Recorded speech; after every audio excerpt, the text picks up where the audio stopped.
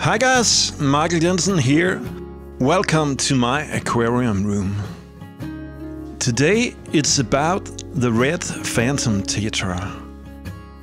Hyphessobrycon sweglesi, formerly known as Megalamphodus sweglesi.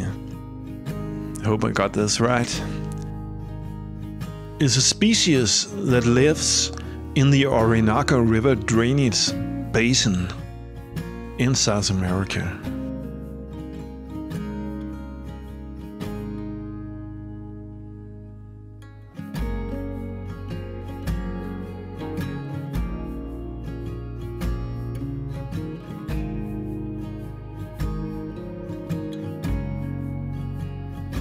They are small and peaceful, but very lively fish that thrives in large shoals. I keep a shoal in one of my tanks and they breed at regular basis. No fry seems to survive though. Maybe because they are eaten by the adults or by a pack of bronze corydoras that share the same tank.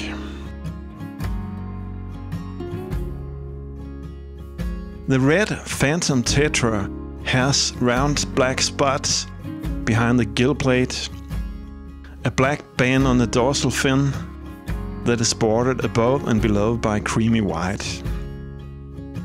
The other fins are red, same as the upper rim of the eye. Just a wonderful fish to watch in a planted tank.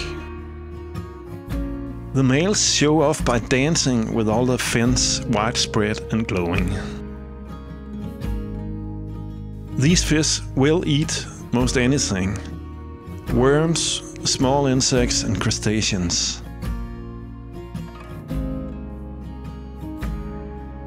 They will accept most kind of flakes, frozen or freeze-dried food as well. Live food, or at least frozen, is essential for conditioning these fish for breeding though.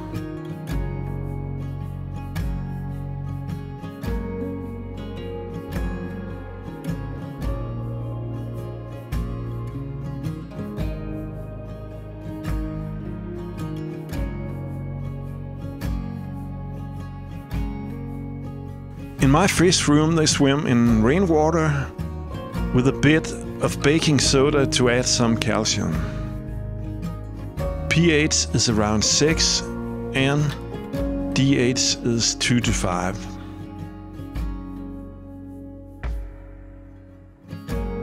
I will make a setup for breeding the Red Phantom Tetra and make films of that later on. So hit the subscribe button to stay tuned. Thanks for watching.